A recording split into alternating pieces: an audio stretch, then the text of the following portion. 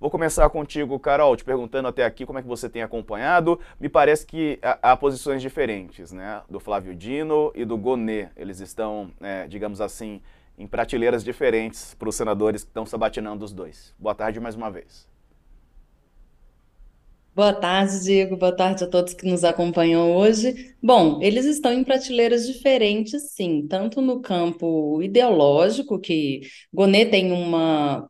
É, digamos que ele passa melhor ali no crivo é, dos parlamentares de direita e dos parlamentares mais conservadores. Ele transita bem entre os dois meios. Agora, Flávio Dino tem, claro, essa pecha de ser mais de esquerda, porque ele estava, ele até pouco tempo atrás era do executivo, estava agora foi eleito é, senador, então ele fez campanha partidária, todo mundo conhece o posicionamento político dele. Então, no começo da sabatina, a gente viu uma grande diferença de tratamento entre os dois, que perdurou ao longo do, do da sessão da CCJ do Senado que, que acontece? No início, o Gonê chegou e foi logo desfilando o currículo dele, como se ele tivesse mesmo pleiteando uma, uma, um cargo numa empresa, né? Foi uma entrevista de emprego para a PGR, digamos assim. Já o Flávio Dino, ninguém tinha perguntado, e ele foi logo dizendo que ele é contrário a essa história de ficar derrubando leis aprovadas pelo Congresso Nacional por decisão é, monocrática do Supremo Tribunal Federal.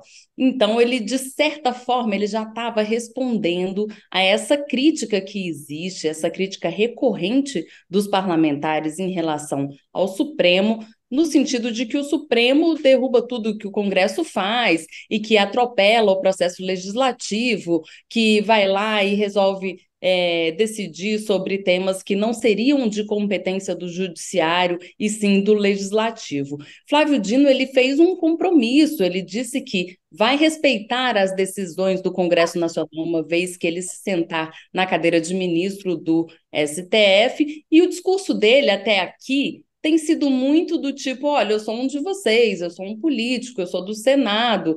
Então, assim, é tanto que a gente viu aquela cena do Sérgio Moro chegando e dando um tapinha nas costas dele. Foi muito nesse sentido de companheiro da magistratura e companheiro do Senado, muito mais é, nesse sentido do que é, na ênfase de campos ideológicos diferentes. Então, Flávio Dino está tentando, ao longo dessa sessão, ao longo do dia de hoje, passar uma credibilidade no sentido de que, uma vez que ele for aprovado no Supremo Tribunal Federal, ele tira a roupa de político, veste a toga e vira uma nova pessoa.